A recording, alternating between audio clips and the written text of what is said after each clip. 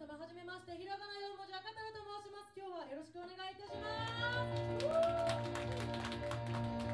聞いてください。よっといで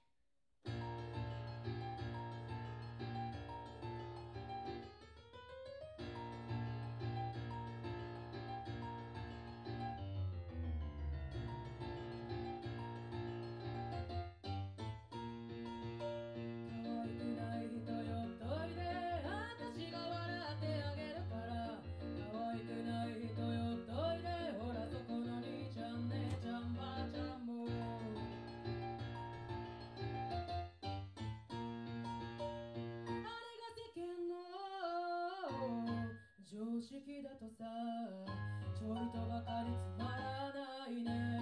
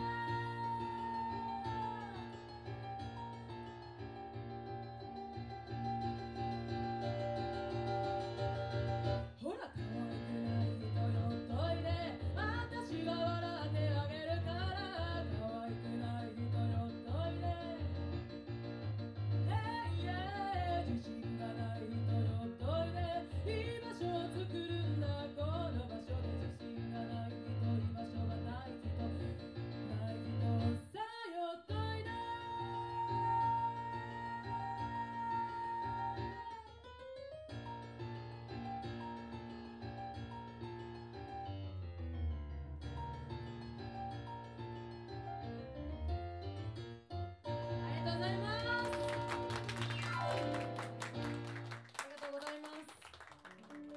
それではね短い時間ということでもう一曲歌おうと思います。皆さんも辛いことがあると思います。